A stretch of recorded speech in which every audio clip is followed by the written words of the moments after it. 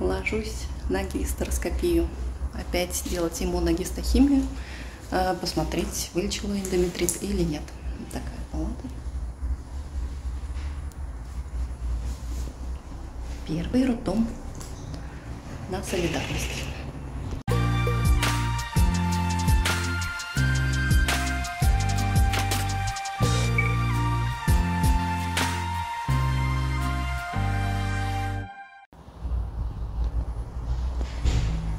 Вот, нарядилась я в чулочки и в ночнушку для операции.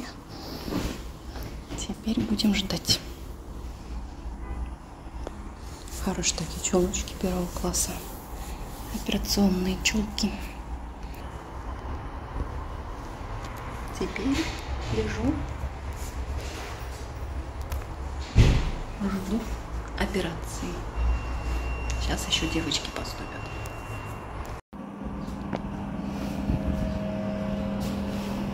Душ не такой, не такой.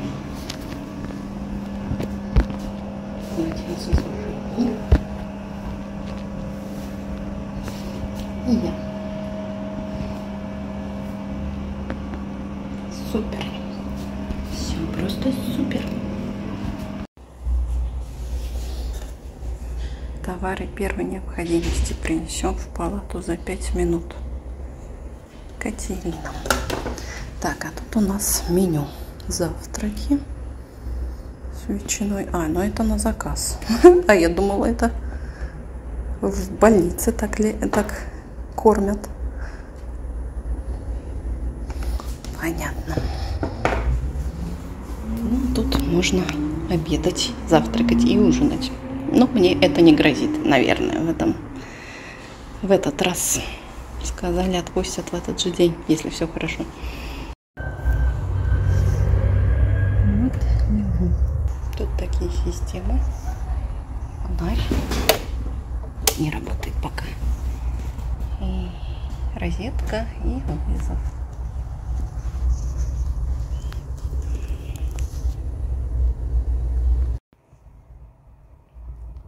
Лежу после операции. Все прошло хорошо. Ура!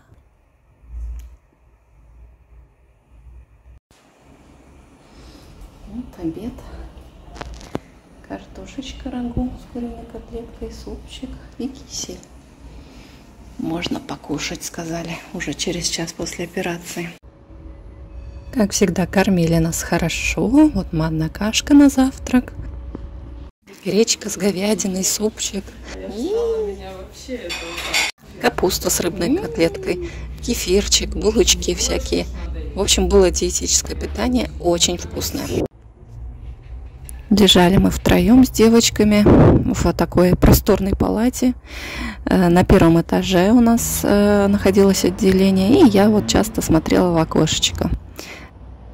То кошечка под кустом лежала, то собачки по вечерам прогуливались вместе со своими хозяевами, а я наблюдала и просто душа радовалась, вот смотря на собачек.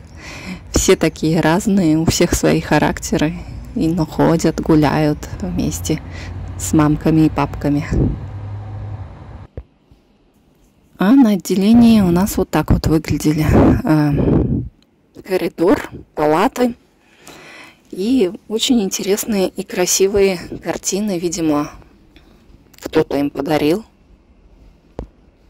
определенного автора, который пишет женщин в разных ипостасях. Вот тут вот у нас находилось холодильник и меню на завтрак, обед, полдник и ужин. Такие вот интересные картины. Девушки, женщины в цветах.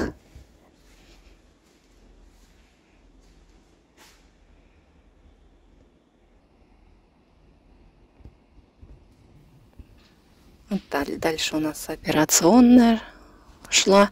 Ну, по коридорам практически никто не ходил, так как э, палаты просторные, видимо, девушки лежали э, каждый у себя И даже выходить не надо, чтобы отдохнуть от соседей и погулять по коридорам. Поэтому я гуляла уже в последний день одна, ну так, чтобы поснимать и посмотреть вообще, что происходит на отделении и как это все выглядит.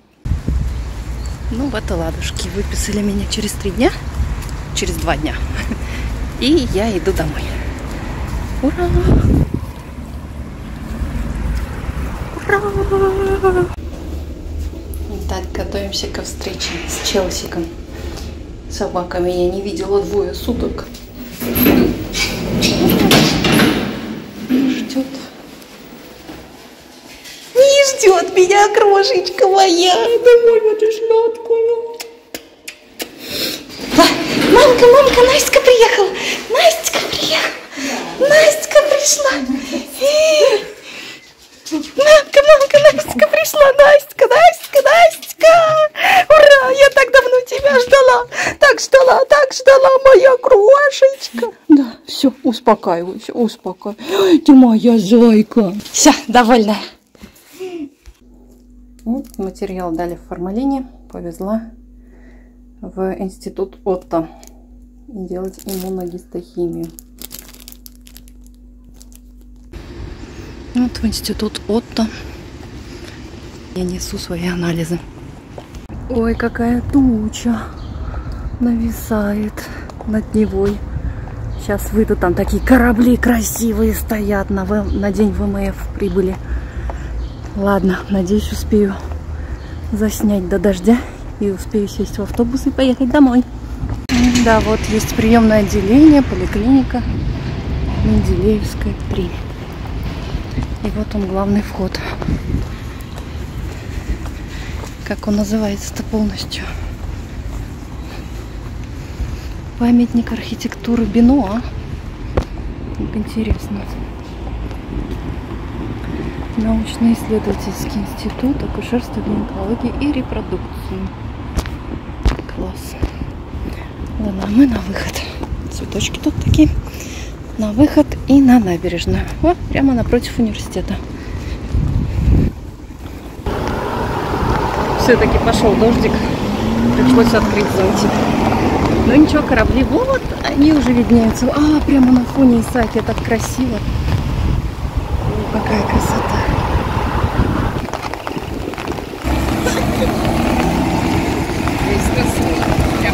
О, какая красотища.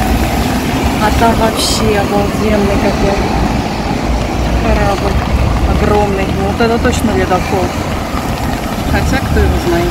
Ладно, сейчас пойдем посмотрим. А, да, вот номер 400, головной, многоцелевой патрульный корабль ледового класса Иван Папанин. Пришвартовался в Петербурге. Корабль заложили в апреле 2017 года. Планировали передать российскому флоту после 2020 года, но спустили на воду в октябре 2019. Текущий срок ввода в строй э, ВМФ России Ивана Папанина в конце 2024 года. То есть совсем новенький корабль. Ну и, как всегда, подводная лодка пришвартовалась напротив Сенатской площади э, и ждет своего участия в параде военно-морского флота. Ну какой тут у нас фонтанчик появился. Или был, может я просто не видела. Раньше ворота, наверное, были закрыты. Какой красивый. Интересно, что там находится. Ну-ка, читаем.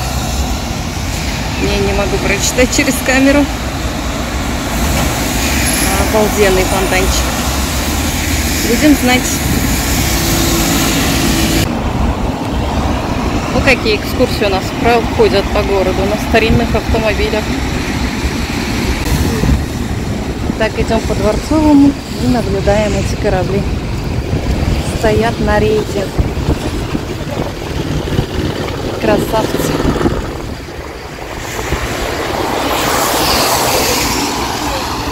той стороны тоже все украшены флажками. Ну и Эрмитаж наш любимый. Адмиралтейство, Исаакиевский собор. В общем, все достопримечательности в одном флаконе. А также впереди стоит номер 532. Это корвет «Бойкий» с управляемым ракетным оружием военно-морского флота. Вот так вот нежданно-негаданно я попала в центр города и посмотрела приготовление к военно-морскому параду.